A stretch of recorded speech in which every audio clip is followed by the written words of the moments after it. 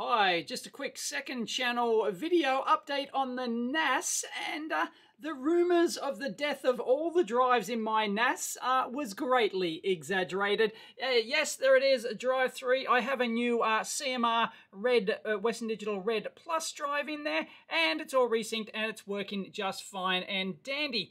But of course, there's always somebody on Twitter who doesn't want to believe stuff that you say, even when you pre present them with evidence. So here's even more evidence for those who don't believe the temperature readings that I get on my drives. Now, um, this this is actually the EFAX uh, version. Sorry, I'm not going to bother to edit this and get a screen capture. This is the uh, this is the EFAX, EFAX version. So this is the SMR drive. I'm probably going to leave it in there because it's only got 15,000 hours on it. I thought I had the same as the others, but no, I must have put in much later.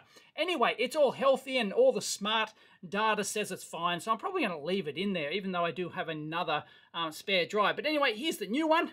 It's got less than 24 hours operation on it, and it's well, it's just ticked over to 33 degrees C because I'm making it do some stuff now. Anyway, 33 degrees Celsius. This one here always gets the hottest, 34. This one up here is 33 degrees Celsius. So yeah, it, it appears that the SMR actually runs um, cooler. This EFAX version actually runs cooler. Um, anyway, somebody doesn't believe those temperatures, even though I posted uh, uh, FLIR thermal images and everything else. So let's go over and check out what's what, shall we?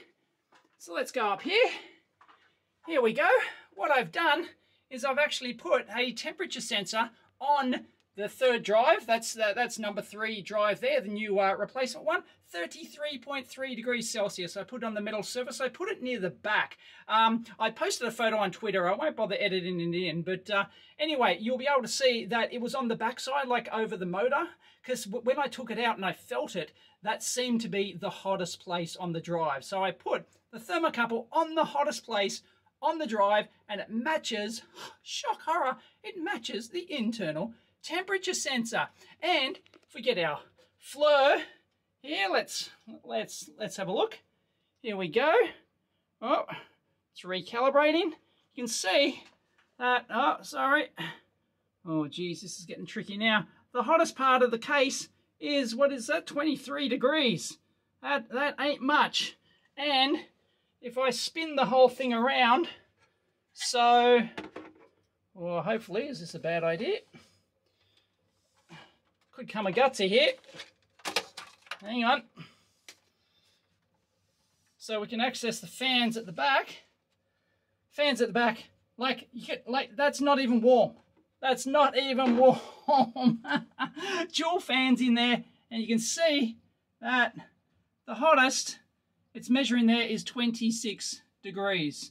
So it'll, like that, that little cursor will jump to the hottest spot within the frame. So there you go. Um, yep, that's easily the hottest thing there. And of course my uh, router and Wi-Fi over here, that's running uh, 33, something like that. But yep, you can see that my RAID drive runs very cool indeed. And I don't even have the fan on the highest um, setting. There is like a full setting. I think I've got it on just uh, like uh, like mid setting or something. It might even be the quietest. I can't actually remember. And it's yeah, it's doing stuff. It's actively um, copying uh, stuff at the moment, and um, yeah, it's working just fine because this like no i don't lock it in this cupboard the doors actually stay open so you know it, it's just uh, at the ambient temperature of the room which is about 23c at the moment it's getting a little bit warm um, anyway so yeah these drives have never gotten above that they've never gotten above 10 degrees above ambient and you can see that there's huge gaps oh right on the side of all these drives here. So thermally, I don't know why this one, the EFAX one, would run cooler. So it'd be nice to do an experiment and replace that with uh, the